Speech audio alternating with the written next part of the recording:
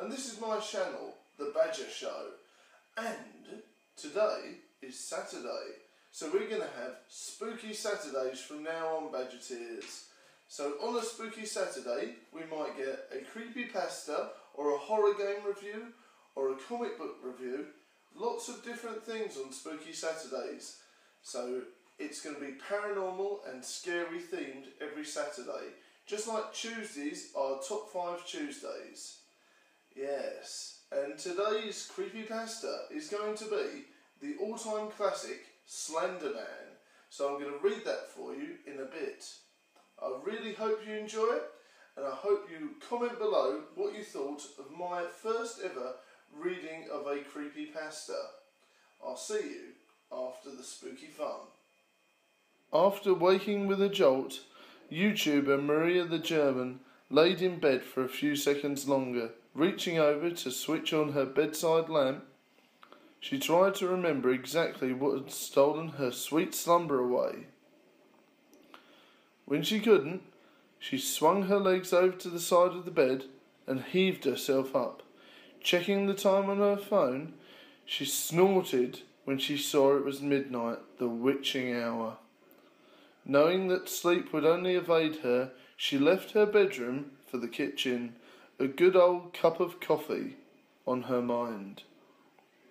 As she passed the front door, a chill spread like liquid fire down her spine. It's only winter, she told herself, focusing on the coffee again, measuring out scoops, water, and milk and sugar, and preparing her cup kept her occupied but as the dark liquid boiled, she had nothing left to keep her mind from wandering off.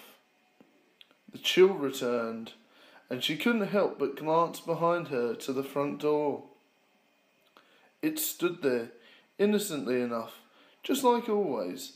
The deadbolt was still in place, and she could still see nothing amiss with it. Turning back to her delicious coffee, she did her best to forget the feeling. With her cup in hand, she started back towards the bedroom. As she walked by the front door, she decided that a quick glance out at the peephole would help calm her restless nerves. The chill worsened, and each step she took towards the door and further away from the safety and warmth of her blankets and her cat Jagger, she pressed her empty hand across the cold metal door and took a deep breath before leading her eyes to the peephole. At first, she could only see an inky blackness that somehow seemed to swirl in itself. Then, when she blinked in surprise, the void melted away. She wished it hadn't. In its place there stood what she could only guess was once a man. The limbs were long and inhumanly awkward, with bulky joints branching off into several arms, not unlike the branches of a tree. The creature was draped in a black suit, somehow making the thing more nightmarish to her, the icing on the cake. However, what was passed as a hellish thing's face, it was through her mind, was blurred as a ghastly visage to spare itself further shock and horror. She shoved herself away from the door, and hand still pressed against it, the scalding mug of coffee fell, the liquid burning her bare legs as she fell backwards and tried to crawl away from the door. She knew somehow that her mind hadn't been playing tricks on her. As she crab walked away from the door, she watched as tendrils as black as the void she first saw snake around through the cracks and bleed into the wall itself. The girl was trapped between the instinct to flee and the gut feeling not to turn her back on the door. When the door jolted, the urge to flee overcame her as she slipped in the burning liquid as she tried to make it back to her room. She knew deep down that she was trapped and she had trapped herself in a corner, but she had to get away from the door. The girl was halfway down the hallway when Mar- Maria heard the previously locked door creak open. She screamed and slipped into the wall, cracking her chin on it as she stunned herself. After that, there was only blackness. Nicole, a warm male voice asked.